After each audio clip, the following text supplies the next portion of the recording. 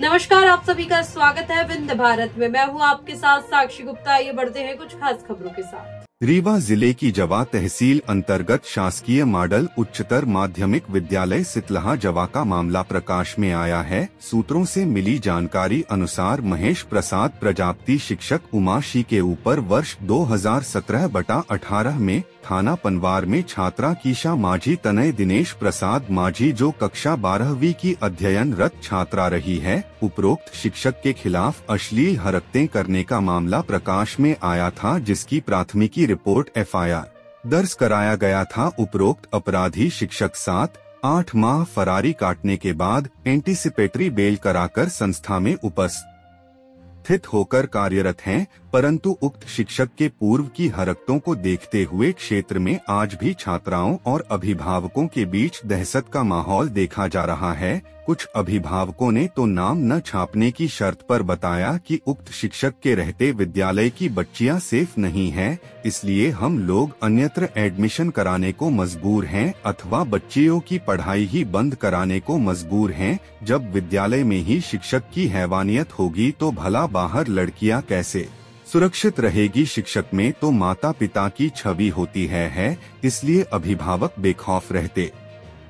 हैं कि हमारी बेटियाँ सुरक्षित हाथों में है परंतु क्षेत्र में शिक्षक की पूर्व की हरकतों को देखकर अभिभावक और छात्राओं में अभी भी डर का माहौल देखा जा रहा है जिससे इस विद्यालय में छात्राएँ प्रवेश लेने से डर रही है।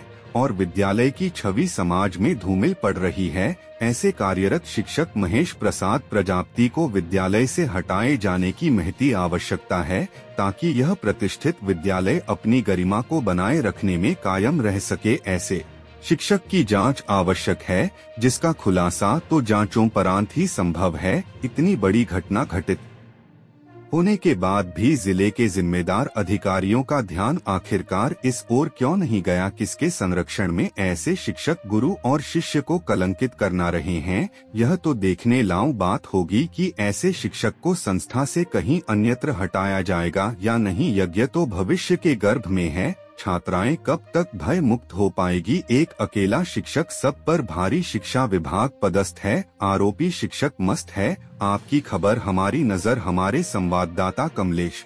शुक्ला के साथ दिनेश द्विवेदी की स्पेशल रिपोर्ट पत्रकार महोदय मैं आपसे ये कहना चाहता हूँ कि एफ़ आई आर बिटिया के साथ अश्लीलता की हरकत करने वाले कर्मचारियों को क्या उस स्कूल में रखना चाहिए?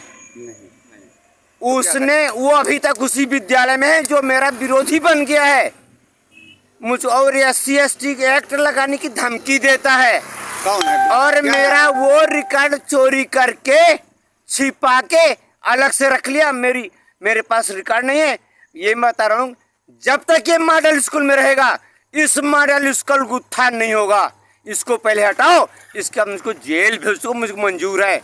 आपसे क्या बताऊँ पत्रकार महोदय? पहले ऐसे निकम्मे शिक्षक को जो छात्र के साथ असली हरकत करने के लिए